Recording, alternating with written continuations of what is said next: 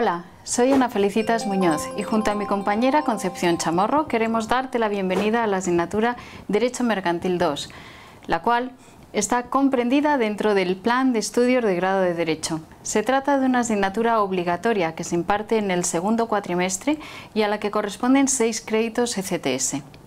Hola, soy Concepción Chamorro. En esta asignatura, tomando la base de lo aprendido en Derecho Mercantil 1, estudiaremos al empresario persona jurídica, haciendo especial hincapié en las sociedades de capital, al ser los tipos más comunes en la práctica, analizando su proceso fundacional, funcionamiento y extinción.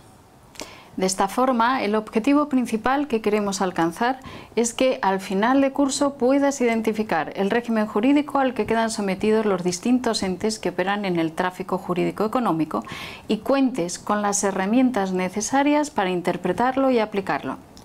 La metodología de aprendizaje que seguiremos estará basada en la realización de varias actividades a lo largo del curso.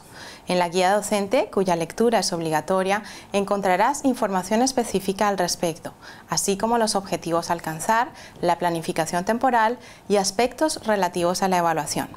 Con relación a este último aspecto, encuentras todos los detalles de las actividades evaluables de nuestra asignatura en la pestaña Evaluación. Es importante que recordéis que para que los contenidos de teoría y las prácticas puedan compensar, debéis tener como mínimo un aprobado en ambos contenidos.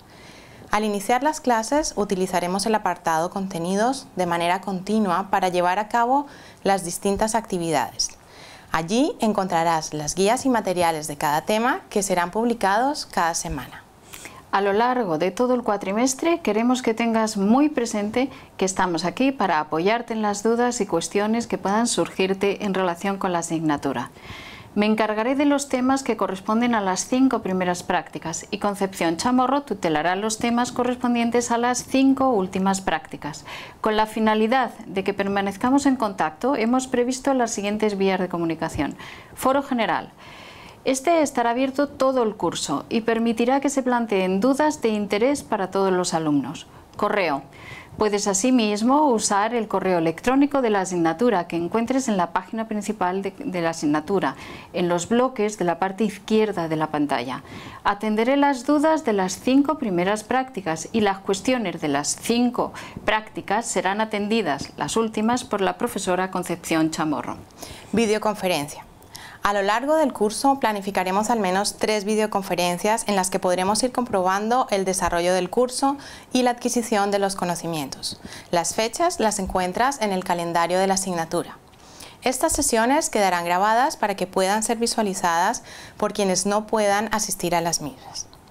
Tutorías online. Semanalmente dispondremos de un horario en el que mediante cita previa puedes acudir a una tutoría online, bien mediante chat o bien mediante videoconferencia.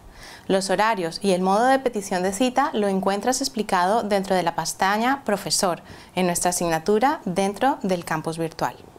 Nos alegra mucho que estés cursando estos estudios. De nuevo, te damos bienvenida a Derecho Mercantil 2. Esperamos que los contenidos sean de tu interés. Y recuerda que estamos a tu disposición para todo lo que necesites. Nos vemos al inicio del curso. Hasta, Hasta pronto.